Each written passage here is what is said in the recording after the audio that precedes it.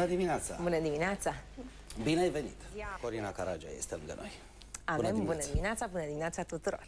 Bine ai venit la bordul navei noastre. Bine v-am găsit! Și baftă!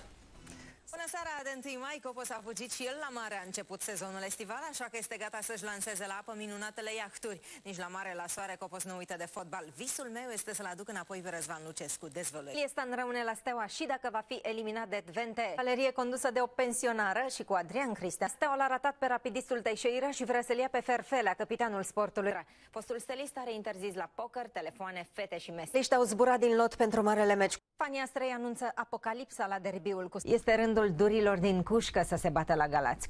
Andone începe treaba la Dinamo când toți antrenorii se pregătesc. Devenit ziua cea mare, Euro începe la ProTV cu România-Franța de la 10. La Roiu vrea o victorie cu Franța de ziua lui. El ar putea fi noul selecționer după Euro. La anul, oltenii vor să joace în Europa pe noul stadion de la Craiova.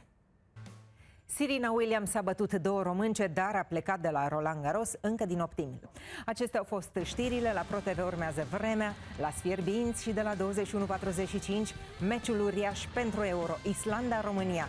Bucurați-vă de fotbal!